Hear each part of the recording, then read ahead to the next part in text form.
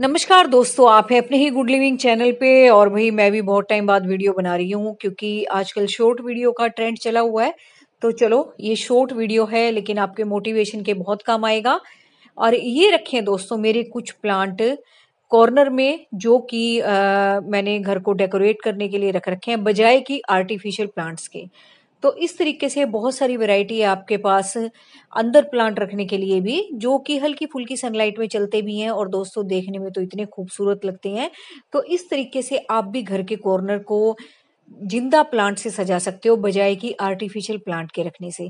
Artificial plant क्या है, रखे होते हैं, लेकिन हमारा ना इतना जुड़ाव नहीं होता उनसे।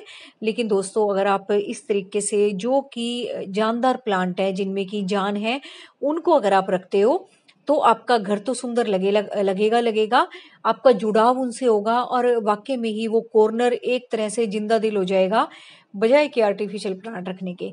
तो इस तरीके से आप भी अपने घर को डेकोरेट करने के लिए, जहाँ भी आपको जगह दिखती है कि यहाँ पे प्रॉपर एरिएशन है या हल्की फुल्की सनलाइट आती है तो वहाँ पे इस तरीके से आप भी ये कुछ भी कैबिनेट है अगर आपके पास, इस तरह से शेल्व्स बनवा के या इस तरह से कॉर्नर में रख के भी आप प्लांट रखने के बाद उस कॉर्नर की डेकोरेशन कर सकते हो, जो कि ज़्यादा अच्छी लगती है। और मेरा तो देख ही लो भाई, जो जो मैंने कर रखा है तो मैंने बहुत सारे इंडोर प्लांट्स रख रखे हैं। ज़्यादातर मैंने पाम के रख रखे हैं। पाम क्योंकि एक तो एवरग्रीन है और मौसम का कम असर होता है इस पर तो इस टाइम तो वैसे ही मानसून चल रहा है। आप पाम लगा के अपने घर को डेकोरेट भी कर सकते हो। और दूसरा भाई, जहाँ पे आपको लगता है कि अच्छी खासी सनलाइट और एरिएशन है, वहाँ का एरिया भी आप सजा सकते हो। बजाय कि वो कॉर्नर है या नहीं है, लेकिन वहाँ पे भी इस तरीके से आप प्लांट रख सकते हो।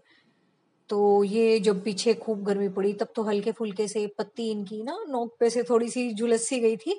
लेकिन फिर अब जब बरसात का मौसम आया ना, अब देखो सारे के सारे ठीक चल रहे हैं। और जो पीछे आंधी तूफ़ान में मेरी थोड़ी सी डंडिया बेंट हो गई थी, उनको भी भाई मैंने चॉपस्टिक और टेप बाँध के ना सीधा कर दिया बजाय की काटने के। तो पाँच सात दिन अगर आप इस तरह कैसे करते हो तो अगर आपकी भी कोई डंडी मुड़ गई है तो उसको आप ठीक कर सकते हो। पाँच सात दिन में आप टेप हटा के देखोगे तो वो बिल्कुल ठीक निकलेगी। तो इस तरीके से कोई इसकी स्टेम काटने की ज़रूरत नहीं होती। हाँ हल्की फुल्की कटाई छटाई जो आपको लगता है आ, वो भी महीने दो महीने में होती है। इतनी जल्दी ये खराब भी नहीं होते। तो देखो इस तरीके से मैंने पाम रखे हुए हैं सारे घर में ही रखे हुए हैं।